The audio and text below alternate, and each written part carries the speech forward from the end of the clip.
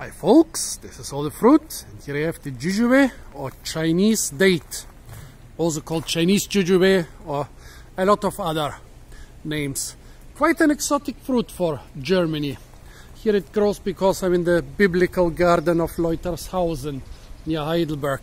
Together with a lot of other quite unfamiliar things for Germany like pomegranates, pistachios and kakis. Well, the funny thing is, the jujube is one of many fruit which people in temperate Europe, especially in Germany, would consider very exotic and maybe even subtropical.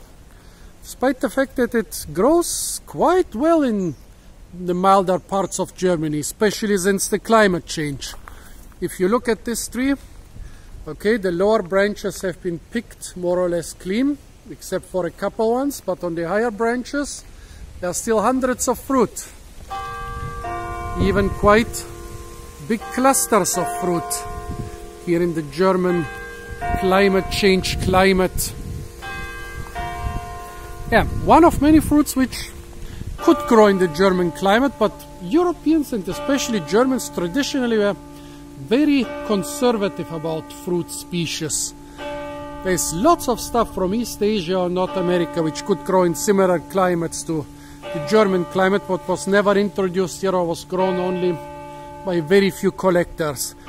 The jujube now, it's starting to become a little bit more popular, especially since the climate change, but still mostly found in botanic gardens or Bible gardens or arboretums or stuff like that. Very strange. I mean, it's a good fruit. Well, we had a lot of rain, so a lot of those fruit burst open. And some started to get moldy. Well, what's the taste? Hmm.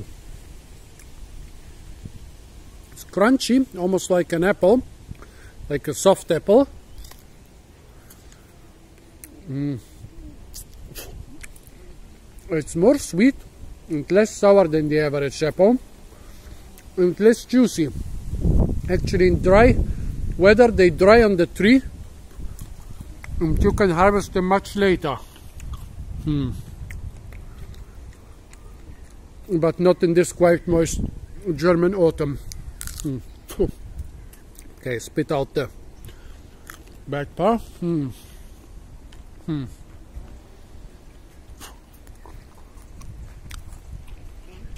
What is it like? Basically, yeah, not a very juicy fruit. Quite a sweet fruit, but not very sweet. A bit sour, a bit tart. Not bad.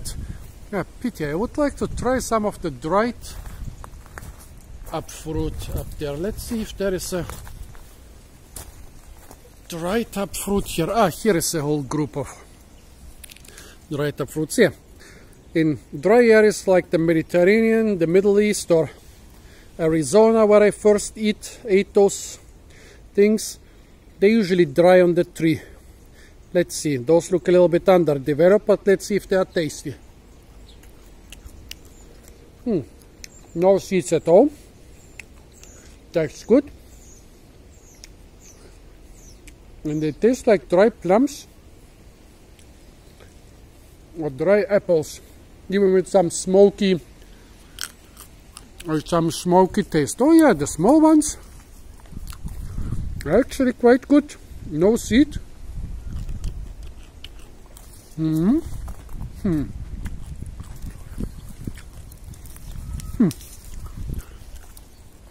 Quite a good fruit, this jujube. So if you're in some subtropical or Mediterranean or warm temperate climate, actually People even told me that they grow in my town of Tryavna in the Balkan mountains, which definitely has not a very mild climate.